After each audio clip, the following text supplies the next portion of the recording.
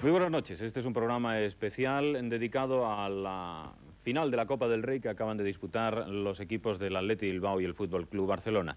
Una final que debería haber sido una fiesta y que ha acabado, como todos ustedes han visto, de una forma lamentabilísima. Unos hechos que vamos a procurar ofrecerles a ustedes, pero algo más adelante porque estamos dando tiempo a nuestros compañeros desplazados en el Santiago Bernabéu para ofrecerles las primeras entrevistas con jugadores y entrenadores.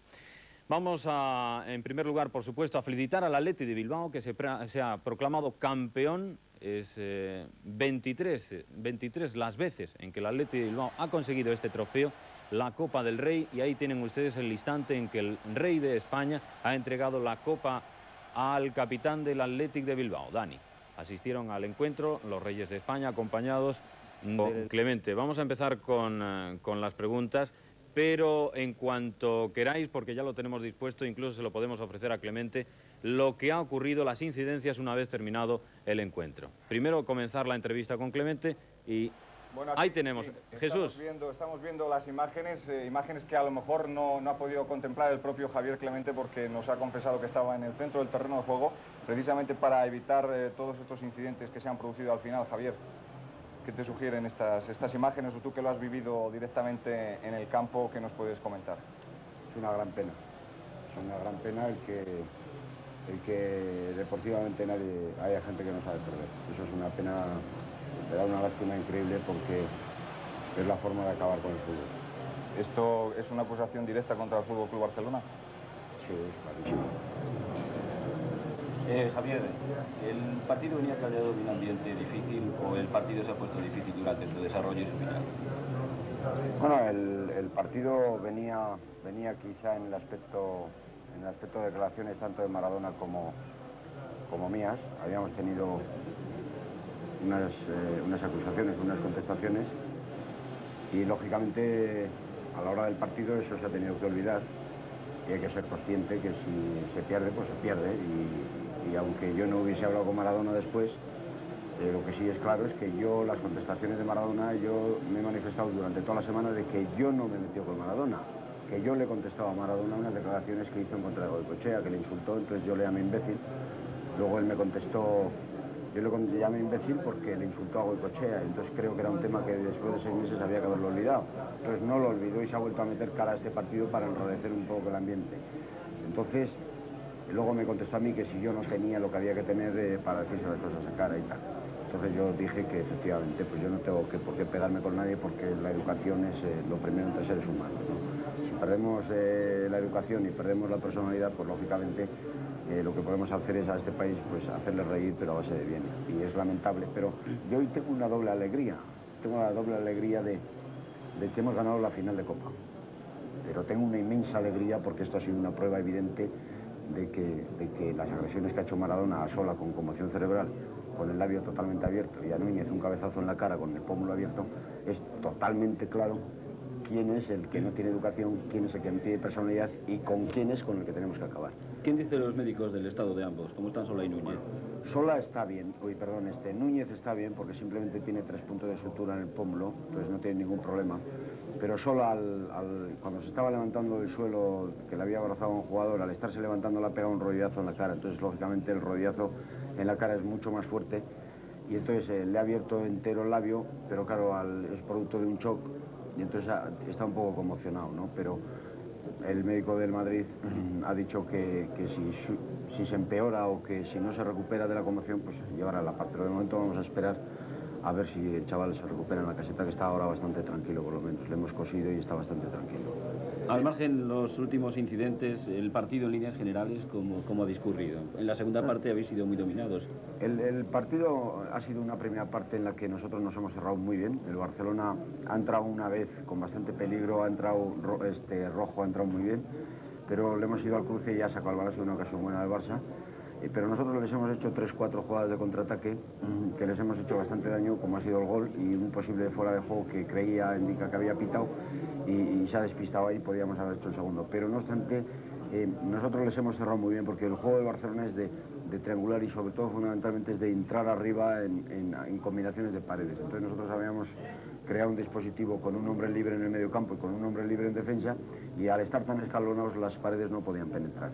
Aunque territorialmente Barcelona nos ha ganado, eso es indudable, porque nosotros nos, va mucho más la jugada de contraataque. Y en la segunda parte ha habido más presión, hemos tenido que realizar mm, dos cambios de marcajes porque ha salido Klos y se ha quedado Maradona. Entonces hemos cambiado de Andrés en el marcaje de Maradona y a Klos un hombre, un hombre de los de atrás para que, para que Maradona al bajar a medio campo no hile el juego. ¿no? Y yo creo que esa ha sido la tónica del partido, pero que ante el dominio del Barça nos podía haber empatado perfectamente.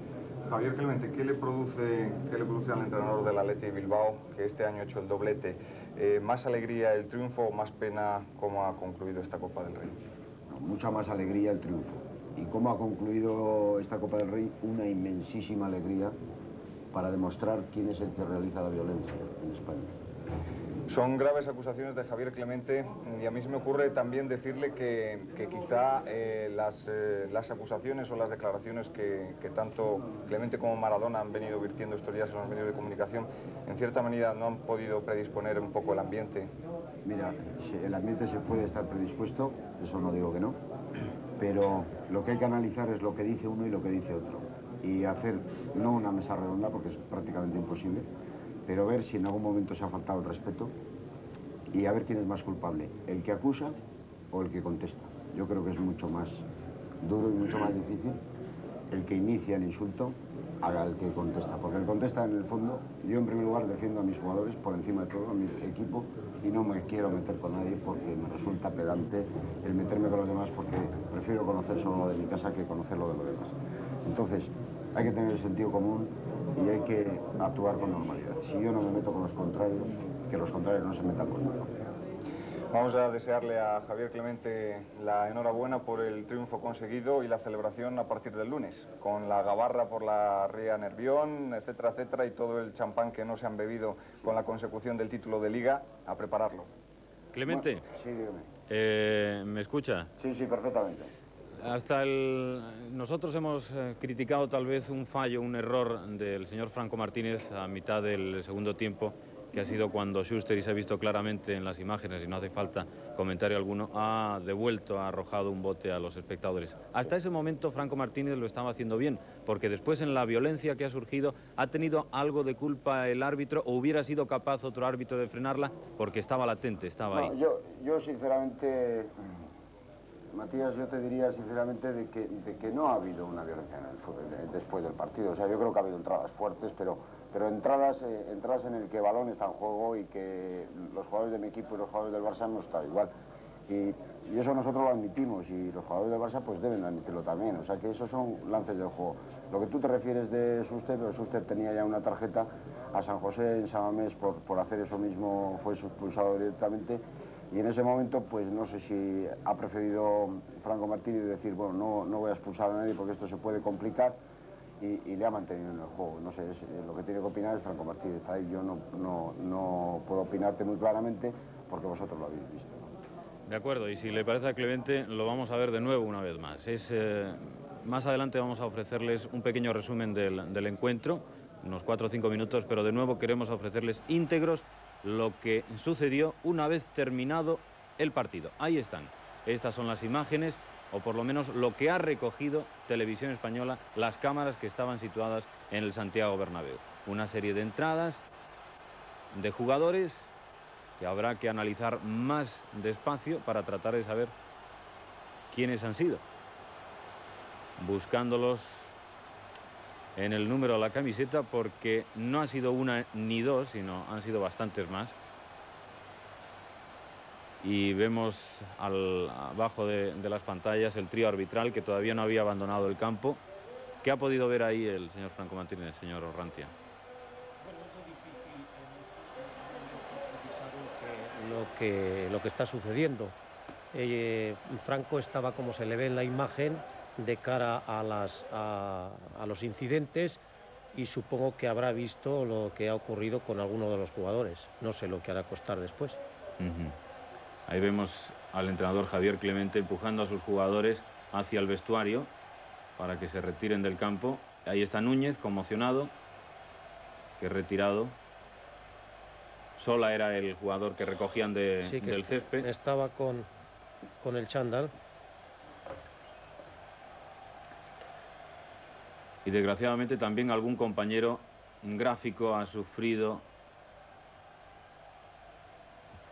las iras de, de cierto sector del público que al arrojar botes indiscriminadamente han golpeado pues no solamente a jugadores, a la policía, a los camilleros y a algún redactor gráfico que ha quedado conmocionado, como comentábamos.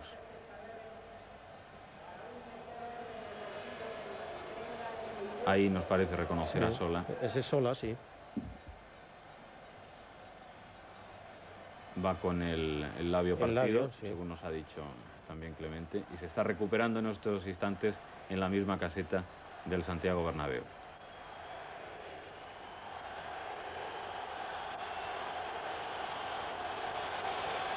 Ahí está el, el compañero que ha quedado conmocionado. La policía intentando proteger a, Sí. al mismo y también se ha visto a un jugador del Barcelona claramente, el dorsal número 11, Marcos, devolver al público otro bote una vez concluido el encuentro. Seguimos con más invitados en el, en el estudio. Ahí está Carrasco, acompañado por nuestros compañeros Quique Guas y Jesús Álvarez. Adelante con la entrevista, por supuesto. Este era el dorsal número 7, al que veíamos eh, en esas imágenes eh, otro jugador del Fútbol Club Barcelona, eh, en fin, Carrasco, todo muy lamentable. Y creo que esto es una, es una marca, es un reflejo de lo que ha sucedido al final del partido, ¿no? Sí, lamentablemente teníamos que, dedicarnos a jugar al fútbol, pero una serie de acontecimientos anteriores hacen que los jugadores se pongan nerviosos y yo desgraciadamente tengo que decir que, que nuestro equipo solo se dedica a jugar al fútbol, pero bueno, si, si la gente